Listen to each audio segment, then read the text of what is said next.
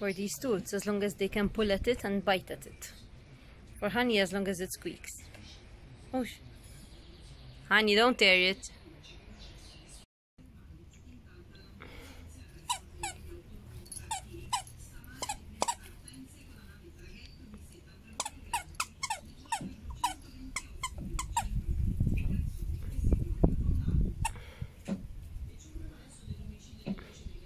How long before the squeakectomy?